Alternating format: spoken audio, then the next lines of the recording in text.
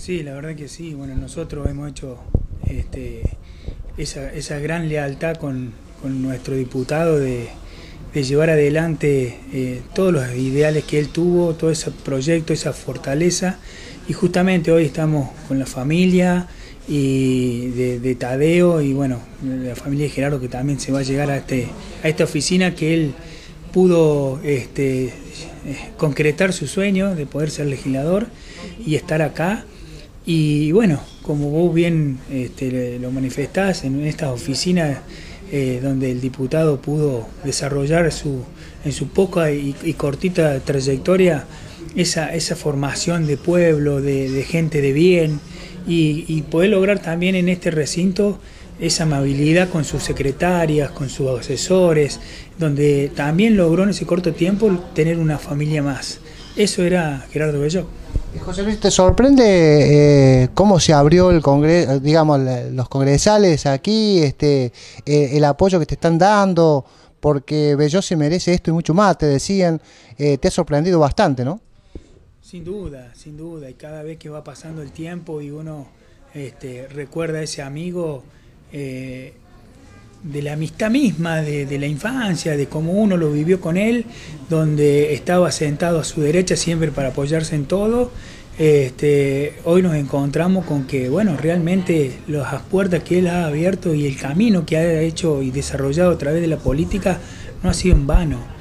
Eh, yo como intendente y responsable en el lugar donde, donde, donde estoy, donde él quiso que estuviese, eh, me siento tan orgulloso que la verdad es una satisfacción y como lo manifesté desde el principio, eh, de doblar los esfuerzos para estar eh, en sintonía por lo menos de lo que él siempre quiso. presidente de sociedad, su nombre y apellido y asesora.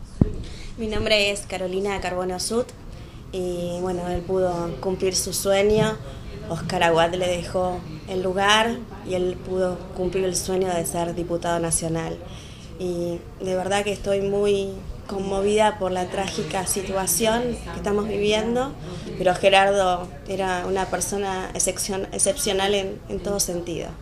Y lo importante que, que pudo cumplir su sueño y con el afán de llegar y con queriendo desafiar a la vida y corriendo de un pueblo al otro y queriendo llegar y demás, lamentablemente la trágica noticia llegó de su fallecimiento, pero él hoy nos dejó acá un legado, ese legado que tenemos que seguir adelante cumpliendo para poder que todos los ciudadanos de la provincia de Córdoba podamos cuidar sus intereses y sean oídos todos los intendentes de cada de, la provincia. Así que eh, en realidad, este, los mismos compañeros de él, de la banca, decían era la topadora.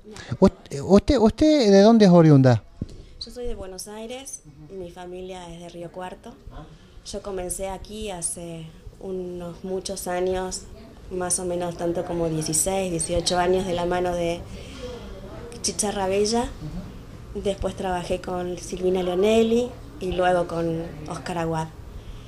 A Gerardo lo conozco de hace muchos años, cuando yo era asesora y secretaria privada del Chicharra Bella, y él en aquellos momentos era intendente y siempre venía con los asuntos de la cautiva a golpearnos la puerta, a pedir y demás, y, con el, y queriendo cumplir su sueño, su sueño de ser diputado nacional.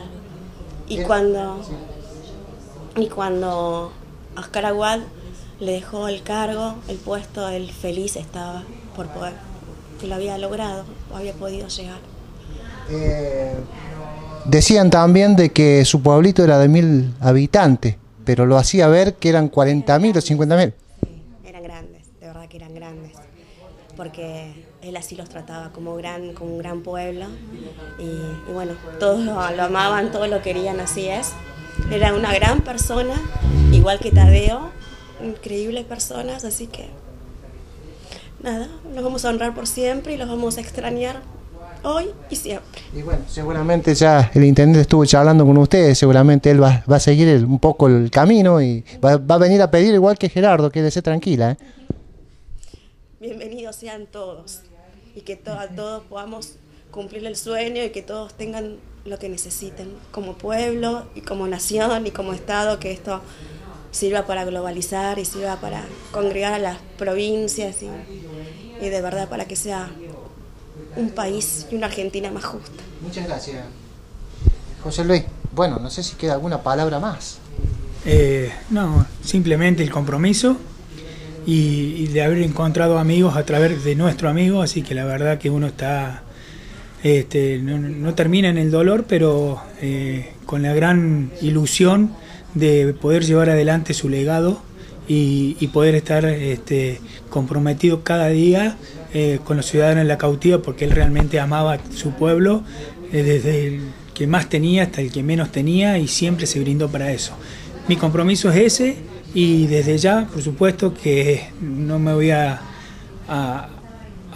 cansar nunca de venir a, Buenos Aires y, y, a tocar todos los picaportes que él nos dejó abiertos, porque eso fue Gerardo. Y bueno, el mejor de los recuerdos, el mejor de los recuerdos para Tadeo un chico feliz, un chico comprometido, un chico que estuvo junto con Gerardo desde el primer momento, porque también tenía, estaba convencido que con su juventud, eh, con sus compañeros de trabajo y con la forma que tenía Tadeo, este, eh, también buscaban ese, ese desarrollo en su propio pueblo para que la gente pudiera vivir mucho mejor.